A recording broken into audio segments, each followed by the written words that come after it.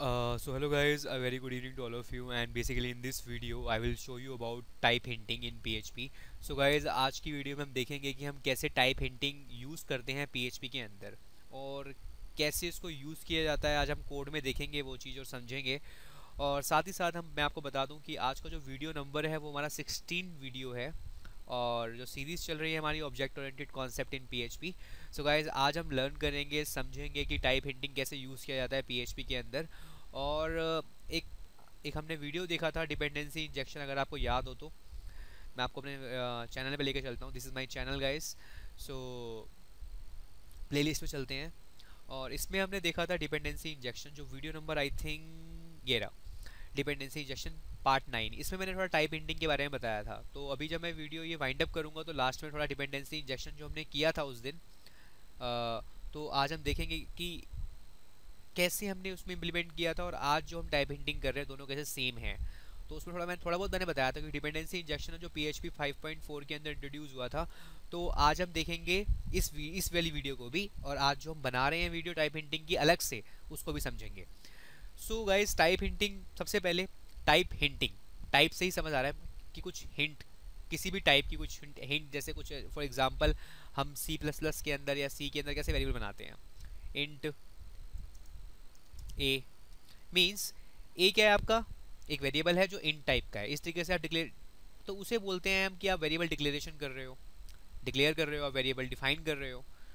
अगर मैंने वैल्यू दे दी है a equal to two you means you define the value of a अगर मैंने खाली ए किया है मीन्स आपने डिक्लेयर किया है ए जो इन टाइप का है, इस तरीके से हम डिक्लेयर करते थे। बट जो टाइप हिंटिंग है, वो क्या होता है कि सपोज़ मैंने फ़ंक्शन बनाया, ठीक है? टेस्ट नाम का। इसमें मैंने वेरिएबल लिया ए अब ये जो ए है ना, ये किस टाइप का होगा? इंट का है कैर का है। अब पीएच में तो ये एक डिसएडवांटेज पीएचपी की ये है कि ये सपोर्ट नहीं करता ये ये चीज़ सपोर्ट नहीं करता और ना ही ये सपोर्ट करता है। तो मतलब ये जो ए है, ये किस टाइप का होगा? कि इस चीज़ को आइडेंटिफाई करते हैं हम टाइप इंटिंग की हेल्प से। तो जैसे एरे है पीएचपी में सपोर्ट है इसका कि आप एरे आप ये चीज़ कर सकते हो कि जो ए डॉलर ए है, क्या है ये एरे टाइप का है। तो एरे का सपोर्ट है बट इन कैर का सपोर्ट नहीं है। तो गाइज़ ये होता है टाइप हिंटिंग कि जब भी हम फ़ंक्शन के, जब भी हम फ़ंक्शन डिफाइन मतलब डिफाइन करते हैं, फिर डिक्लेयर करते हैं, जब जब, जहाँ भी आप फ़ंक्शन डिफाइन करेंगे, उसमें जो आपने जो भी लिस्ट दे रखी है आर्गूमेंट लिस्ट दे रखी है, वो किस टाइप की होगी? वो with the help of type hinting you can identify so सबसे पहले एक एग्ज़ाम्पल ही ले लेते हैं। बेस्ट रहेगा। सपोज़ मैंने यहाँ पे एक वेरिएबल बना दिया ए आर आर एरे और इस एरे के अंदर मैं डिफाइन करता हूँ ए बी सी की और वैल्यू एसोसिएटिव एरिया गाइज़ ये। और एसोसिएटिव एरिया के अंदर हमारी क्या होती है? की और वैल्यू होती है। तो A B C is our key and value is A B C suppose and X Y Z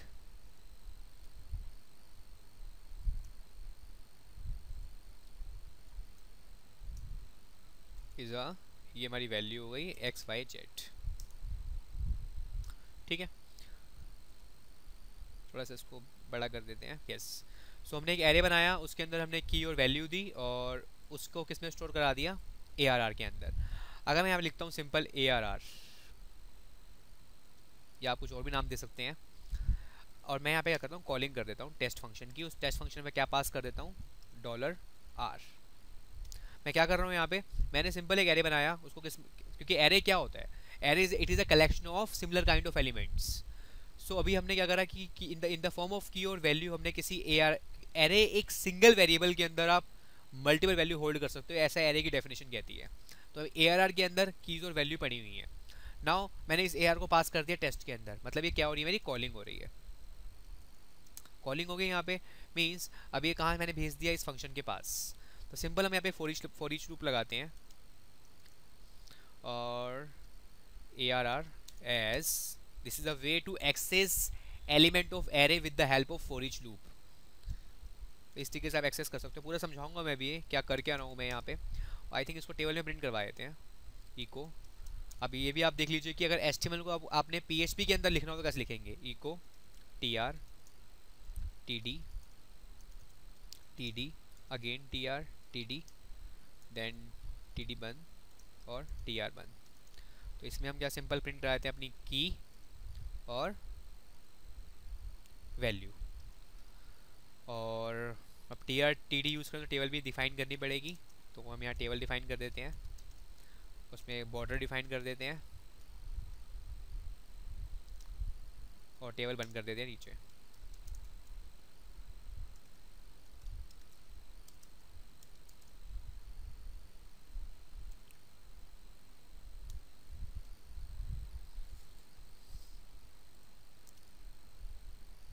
तो अभी गाइज़ सिंपल हमने क्या किया है यहाँ पे? टाइप हिंटिंग को समझ रहे हैं हम यहाँ पे अभी। अगर मैं ये चीज़ अगर मैं इतनी चीज़ को अगर मैं रन कराता हूँ अभी हमने क्या किया सिंपल हमने एक एरे बनाया उस एरे के अंदर हमने की दी और वैल्यू दी और ये एरे मेरा क्या है? एसोसिएटिव एरे है और ये ए आर आर के अंदर वो स्टोर है बिकॉज़ एरे uh, के अंदर खास बात ये है कि वो सिंगल वेरिएबल के अंदर आप मल्टीपल वैल्यू स्टोर करा सकते हो। तो this is your single variable and they can store um keys and values of कुछ भी हो सकता है। अभी तो हम खाली एक स्नैरियो डिस्कस कर रहे हैं तो मैं कुछ एक रैंडम कुछ मैंने कुछ भी डाल दिया इसके अंदर और यहाँ पे कॉलिंग हो रही है मैंने टेस्ट के अंदर इसको भेज दिया। तो अभी ये पता नहीं है। अभी अगर अभी तो आप आपने चार पाँच लाइन का कोड लिखा है तो हम ये समझ लेते, हम भी, हमें हमें तो पता है कि ये एरे है, हमने एरे बनाया है।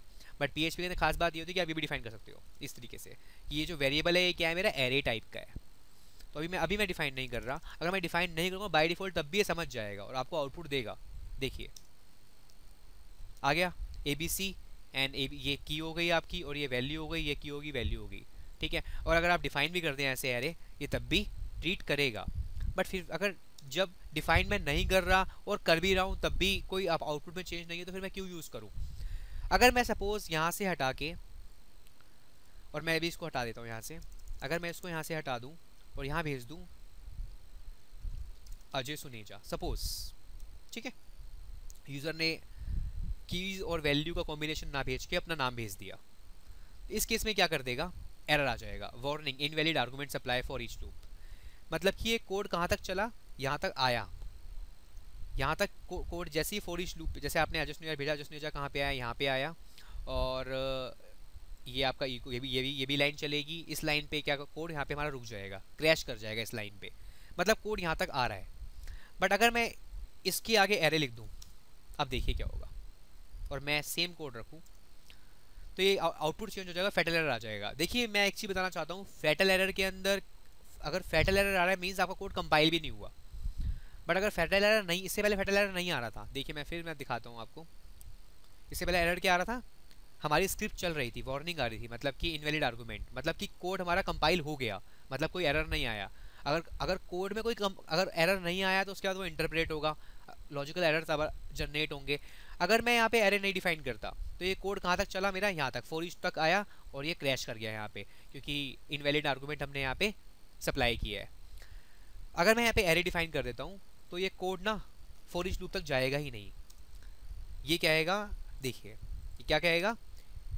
ये कहेगा कि फेटल एरर है argument one pass to test must be type of array देखिए, इसने यहाँ पे स्पेसिफाई कर दिया कि जो भी आप पास कर रहे हैं, वो एरे टाइप का ही होना चाहिए। तो आप ये चीज़ यहाँ कर ही नहीं सकते। सो so गाइज़ यही मैं समझाना चाह रहा था आपको टाइप हिंटिंग का यूज़ तो इस तरीके से आप एरे में टाइप हिंटिंग यूज़ कर सकते हैं क्लास में यूज़ कर सकते हैं। तो अभी हम अगला एग्ज़ाम्पल देखेंगे क्लास में कैसे यूज़ करेंगे। तो सिंपल यहाँ पे ए बी सी और ए बी सी और एक्स वाई जेड और एक्स वाई जेड तो गाइज़ ये बहुत ही यूज़ होता है टाइप हिंटिंग का। जब मैंने डिपेंडेंसी इंजेक्शन बताया था, तब भी मैंने काफ़ी इसका आपको मीनिंग बताया था। I think use of undefined constant okay इसको डबल कोर्स में ले लेते हैं, तभी इस वजह से एरर दे रहा है। सॉरी तो देखिए सो so गाइज़ ये तरीका होता है। मतलब अगर आपने स्पेसिफाई कर दिया है तो अगर आप कुछ और भी पास करेंगे तो वो आपको हाँ बस खास बात इस कोड के अंदर जो सीखने वाली है, वो ये है। अगर मैं स्पेसिफाई नहीं करता तो आउटपुट तब भी सेम आएगा। बट अगर मैंने इसकी जगह कुछ और पास कर दिया तो कोड मेरा कहाँ तक प्रोसेस हो रहा है? फोर इंच तक प्रोसेस हो रहा है। बट अगर मैंने स्पेसिफाई कर दिया कि मेरा एरे है तो कोड मेरा यहाँ तक आएगा ही नहीं फोर इंच तक। वो यहीं पे टेस्ट फ़ंक्शन के आगे आपको कह देगा कि प्लीज़ आप जो पास कर रहे हैं वो एरे टाइप का ही होना चाहिए। सो so, वो फैटल एरर दे देगा। और फैटल एरर वो एरर्स होते हैं जो कंपाइलेशन फ़ेज़ से पहले होते हैं। कि अगर आप आप पीएचपी की स्क्रिप्ट के अगेंस्ट जा रहे हैं वो ऐसा कहते हैं। वो ये वो बात वहाँ तक पूछती ही नहीं कि कंपाइलेशन एरर है नहीं। वो पहले ही बताए थे कि कि जो भी आप यूज़ कर रहे हैं ये पीएचपी की स्क्रिप्ट में डिफाइन ही नहीं है इस तरीके से। आप गलत यूज़ कर रहे हैं। तो फेडरल एरर दे देगा। एटलीस्ट कंपाइलेशन एरर आपका वहाँ तक पहुँचेगा ही नहीं। सो so गाइज़ ये था टाइप हिंटिंग जो मैंने एक एरे के एग्ज़ाम्पल के साथ आपको समझाने की कोशिश की। आइए देखते हैं एक बार, अगर मुझे क्लास के साथ अगर यूज़ करना हो तो कैसे यूज़ करें? तो एक फ़ाइल हम और बना लेते हैं यहाँ पे सिंपल पीएचपी की। Type hinting, using class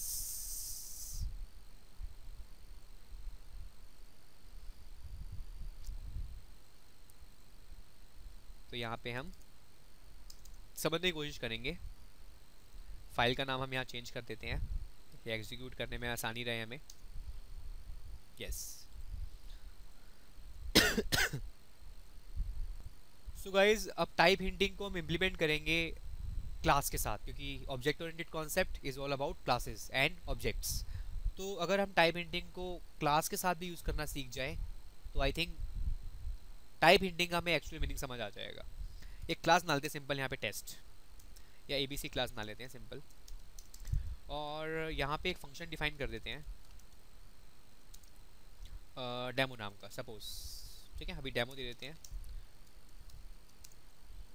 and यहाँ मैसेज दे देते हैं demo function from abc class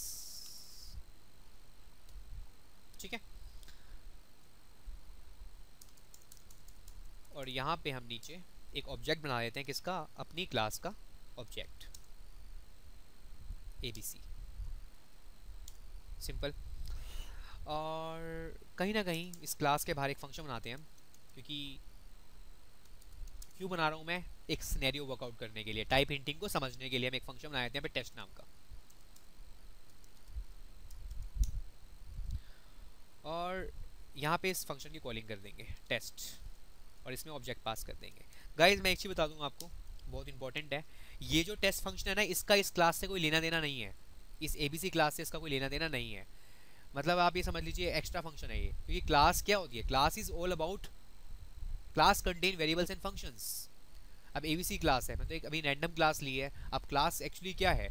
कि आप किसी भी किसी को क्लास कैसे बोलेंगे? उसकी कॉमन प्रॉपर्टी को ड्राइव करेंगे suppose class what is class class is a collection of similar kind of objects तो जो भी ऑब्जेक्ट बनाएँगे क्लास उसकी रिस्पेक्ट में आप क्लास बनाएँगे। मीनिंगफुल ताकि मीनिंगफुल नेम लगे। फॉर एग्ज़ाम्पल अगर मेरे पास कोई एक बकेट है उस बकेट के अंदर मेरे पास कुछ एप्पल है बनाना है ग्रेप्स हैं तो फाइनली वो सारे ऑब्जेक्ट्स तो हैं बट वो फाइनली है क्या? फ्रूट तो fruit is a class but ये फ़ंक्शन का इस, इस क्लास से कोई लेना देना नहीं है।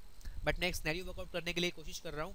टाइप हिंटिंग में आपको बता सकूँ। इस वजह से मैंने यहाँ पे एक फ़ंक्शन ले लिया है और उसकी कॉलिंग मैं कर रहा हूँ यहाँ पे। और उसके अंदर क्या पास कर रहा हूँ? जो मेरी एबीसी क्लास है ना उसका ऑब्जेक्ट पास कर रहा हूँ। देखिए, होगा क्या? सॉरी अगर मैं आप लिख दूँ ओबीजे वन ठीक है? और यहाँ पे मैं सिंपल ओबीजे वन से क्या एक्सेस करूँ? डेमो क्लास का फ़ंक्शन मतलब डेमो क्लास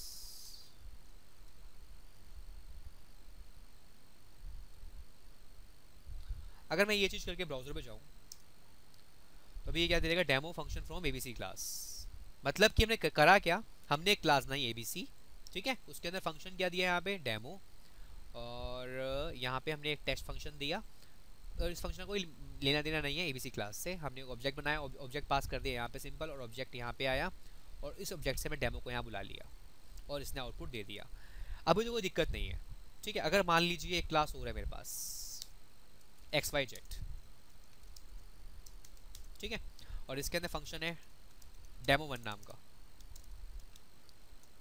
ठीक है? और यहाँ पे मैसेज दे देते हैं हम कि demo one is a function of X Y Z class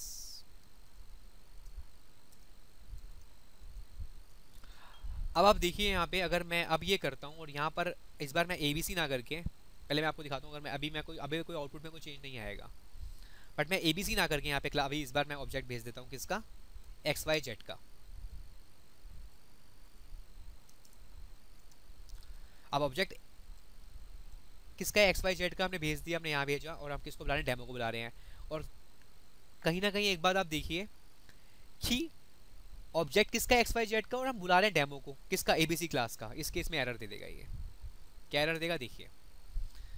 Fatal error call to undefined methods तो इसके से फैटल एरर आ गया। इस चीज़ को अब देखिए, क्योंकि वहाँ भी जब हमने एरे डिफाइन किया तो ऐसे एरर एरर आ रहा था फेडरल एरर वहाँ भी आ रहा था। हम यहाँ स्पेसिफाई कर देते हैं कि ये मेरा जो ऑब्जेक्ट है, किसका है? ए बी सी का है। आप देखिए। आप चाहे एक्स वाई जेड का ऑब्जेक्ट बना लीजिए या किसका बना लीजिए, क्या दे देगा ये? Argument one pass to test must be instance of A B C तो इस इस चीज़ को बोलते हैं इस टाइप हिंटिंग आपने यहाँ स्पेसिफाई कर दिया कि ये जो ऑब्जेक्ट ये टेस्ट फ़ंक्शन जो ऑब्जेक्ट ले रहा है, ये ए बी सी का है। आप एक्स वाई जेड कर लीजिए। अब देखिए। Call to undefine X Y Z demo तो मुझे बस अब अब ये एरर बिल्कुल ठीक हो चुका है बट मुझे डेमो वन करना है बस। अब एरर नहीं आएगा। अब सिंपल आपको आउटपुट देगा demo one function from X Y Z class so guys इस तरीके से हम क्लासेस के अंदर यूज़ करते हैं टाइप हिंटिंग सिंपल मैंने एक क्लास बनाई एक्स ए बी सी उसमें डेमो फ़ंक्शन दिया एक्स वाई जेड क्लास ने उसमें डेमो वन फ़ंक्शन दिया और एक सिंपल टेस्ट फ़ंक्शन बनाया। अगर स्पेसिफाई नहीं करता तो इसे पता कैसे चलता कि ये हमने, ये ऑब्जेक्ट किसका है? तो हमने स्पेसिफाई कर दिया कि ये जो ऑब्जेक्ट है, ये एक्स वाई जेड का है। तो इससे आप खाली एक्स वाई जेड के फ़ंक्शन ही बुला सकते हो। तो गाइज़ ये था टाइप हिंटिंग क्लास के अंदर। अगर मुझे टाइप हिंटिंग को यूज़ करना हो इंटरफेस के अंदर तो कैसे यूज़ करेंगे? तो गाइज़ मैं पूरा के पूरा स्नैरियो वर्कआउट कर चुका हूँ इंटरफेस के साथ टाइम अपना बिता चुका हूँ आप लोगों के साथ। जो इंटरफेस पढ़ा था हमने, वो पढ़ा था video number I think interface interface yes video number six में हमने इंटरफेस देखा था। अगर आपको सीखना हो इंटरफेस क्या होता है तो आप मेरी वीडियो देख सकते हैं। तो गाइज़ अभी तो हमने क्लास के साथ देखा, अब हम देखते हैं इंटरफेस के साथ कैसे हम यूज़ करते हैं टाइप हिंटिंग को। सो so गाइज़ अब देखते हैं कि हम टाइप हिंटिंग को इंटरफेस के साथ कैसे यूज़ करें। और ख़ास बात हमने इस कोड में ये भी देखी कि जो हमने टाइप हिंटिंग यूज़ किया, इससे हमें सिक्योरिटी मिल गई। कि अब हम यहाँ पे जो भी जैसे आप देख रहे हो ऑब्जेक्ट है, वो एक्स वाई जेड क्लास के लिए ही है। बट अब एक काम करते हैं, मैं आपको दिखाता हूँ इंटरफेस के साथ को कैसे यूज़ करें। सिंपल इंटरफेस बनाने के लिए इंटरफेस और इंटरफेस का नाम दे देते हैं यहाँ पे शो और इसमें एक फ़ंक्शन बनाए थे बिकॉज़ मैंने बताया था इंटरफेस के बारे में कि interface what is interface interface it is a collection of abstract methods if you want to achieve abstraction अब जो एब्स्ट्रैक्शन फीचर होता है ऑब्जेक्ट ओरिएंटेड लैंग्वेज का, अगर आपको उसको अचीव करना हो so with the help of abstract class interface you can achieve that So interface, it is a collection of empty methods, called by methods. Yeah, you can also say that. So guys, you can also say that कि अब ये जो interface मेरा यहाँ पे show है वो क्या है इंटरफेस का नाम तो शो है but it is a collection of empty methods या फिर एब्स्ट्रैक्ट मेथड्स आप जो भी इंटरफेस के अंदर मेथड्स डिफाइन करेंगे you must be implemented in ABC class अगर आप चाह रहे हैं, अगर, क्योंकि इंटरफेस आपको पता होगा एक्सटेंड नहीं होता। क्लासेस एक्सटेंड होती हैं, जो इंटरफेस होता है, वो क्या होता है? इम्प्लीमेंट होता है। इम्प्लीमेंट्स हम क्या करते हैं? शो को। अगर मैंने इसको ये कर दिया मतलब कि मैंने इस इंटरफेस को यहाँ पे इम्प्लीमेंट कर दिया एबीसी क्लास के अंदर तो इसमें जो भी मैं मेथड डिफाइन करूँगा, देखिए फॉर एग्ज़ाम्पल मैंने मेथड जो डेमो सपोज़ डेमो फ़ंक्शन है मेरा यहाँ पे। मैंने मेथड डिफाइन कर दिया यहाँ पे।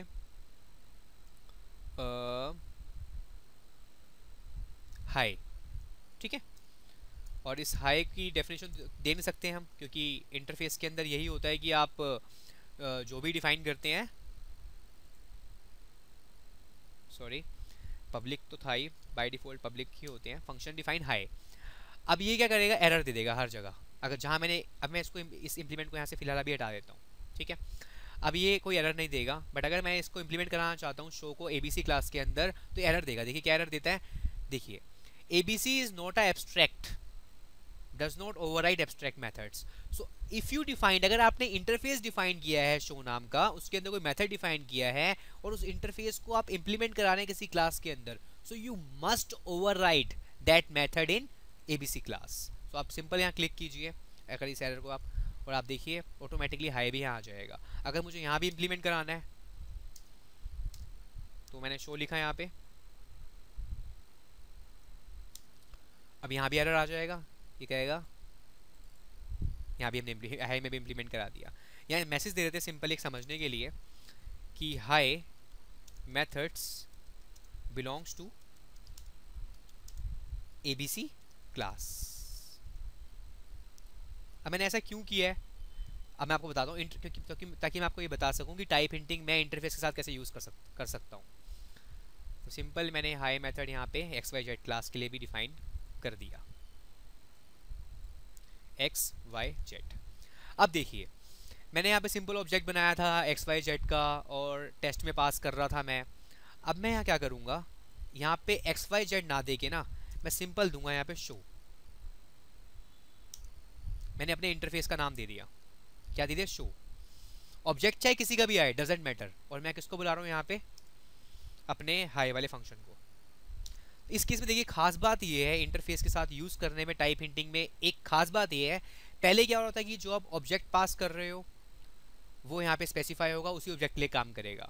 अब इंटरफेस के लिए हमने क्या बना दिया? कॉमन फ़ंक्शन बना दिया। हाई फ़ंक्शन मेरा एबीसी क्लास के अंदर भी है और एक्स वाई जेड के अंदर भी है। और मैंने यहाँ पे जो पास किया है शो पास किया है मतलब कि शो मेरा इंटरफेस का नाम है। और ये ऑब्जेक्ट किसका है मेरा? किसी का भी हो सकता है। अब देखिए क्या होगा। अगर मैं पास करता हूँ एक्स वाई जेड का, और मैं रन कराता हूँ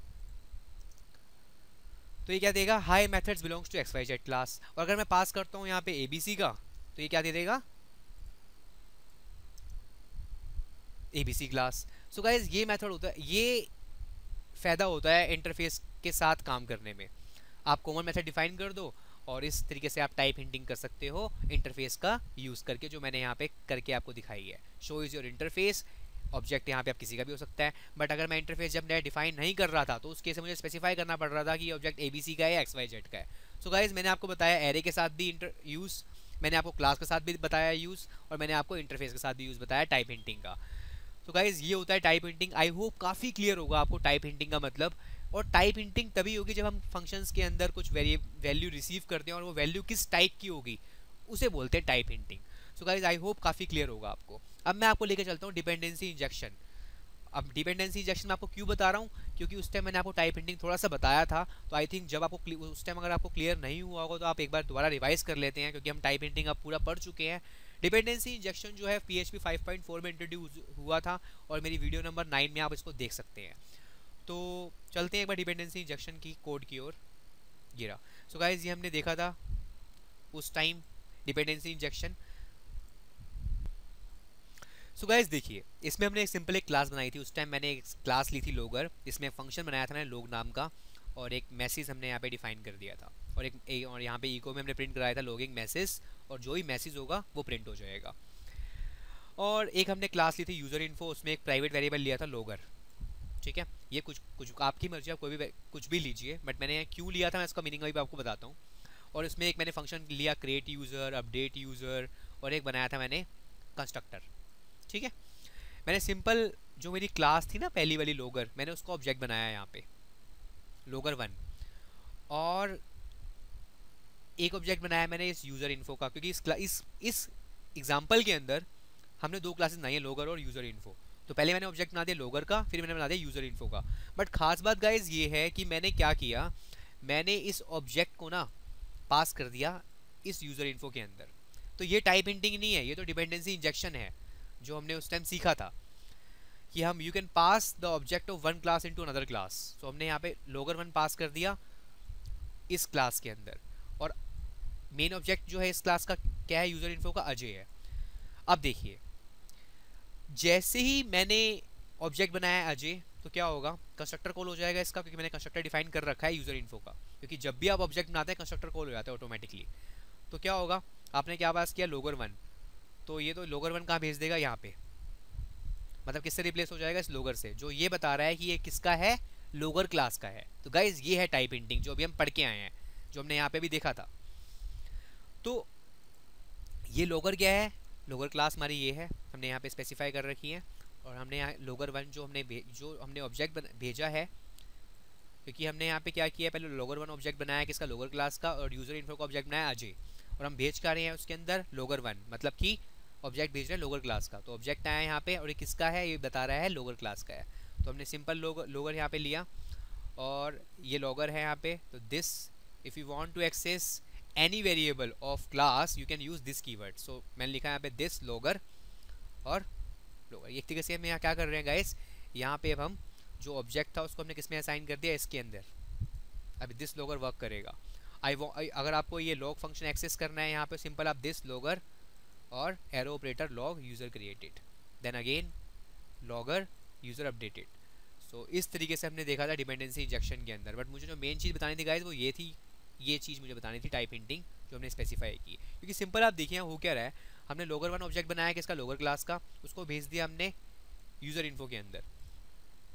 मतलब हमने एक ऑब्जेक्ट पास कर दिया तो दूसरी क्लास के अंदर. तो मैं यहाँ पे, क्योंकि हम इसका भी तो ऑब्जेक्ट ही बना रहे हैं, यहाँ पे अजय किसका ऑब्जेक्ट है? यूज़र इन्फो का. इसमें हमने क्या भेज दिया? ये वाला ऑब्जेक्ट अब ये ऑब्जेक्ट अगर मैं ये चीज़ ना यहाँ पे करूँ तो पता थोड़ी चल रहा है। अब दस दिन बाद कोड खोलेंगे, आपको क्या पता कि ये, या आप साल बाद कोड खोल रहे हैं, ये क्या चीज़ थी? ये एक वेरिएबल है या ऑब्जेक्ट है? तो हमने स्पेसिफाई कर दिया कि ये लॉगर क्लास का ऑब्जेक्ट है। और हमने किसको असाइन कर दिया यहाँ पे, हमने एक प्राइवेट वेरिएबल बना रखा है। हमने दिस कीवर्ड में उसको एक्सेस किया मतलब इसकी जो भी फंक्शनैलिटी थी अब इसके अंदर आ गई।